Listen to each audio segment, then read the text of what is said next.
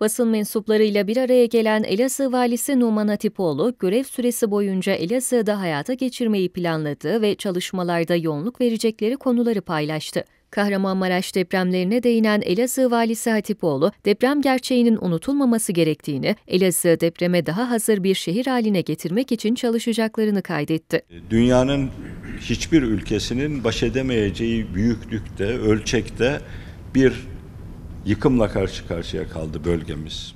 Maalesef biz e, zorluklar zamanındaki dayanışmamızı zorlukların e, sonrasında biraz unutuyoruz. Deprem gerçeği unutmamamız gereken en önemli hususlardan birisi. İnşallah önümüzdeki süreçte e, özellikle e, yapılaşma ile ilgili olarak e, sorunları el birliğiyle gidereceğiz. Tabii Elazığ her açıdan depreme daha hazır e, ve aynı zamanda donanımlı hale getirmekle ilgili olarak bir çaba içerisinde olacağız. Hazar Gölü'nün bölgenin en önemli yerlerinden biri olduğunu ifade eden Vali Hatipoğlu, hem Hazar Gölü'nün temizliği hem de Elazığ genelinde temizlik konusundaki çalışmalara ağırlık vereceklerini dile getirdi. Hazar Gölü bu bölgenin en önemli değer. Zamanında ben de girmiştim Çüngüş'teyken bir kez.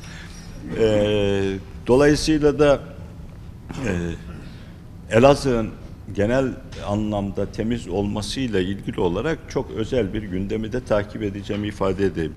Hazar çevresini temizleyeceğiz. İnşallah sadece Hazar çevresi değil, buradaki her sorunlu alanı elimizden geldiğince özel idaremiz imkanlarıyla belediyelerimizi katarak, belki sivil toplum kuruluşlarını katarak temizleyeceğiz.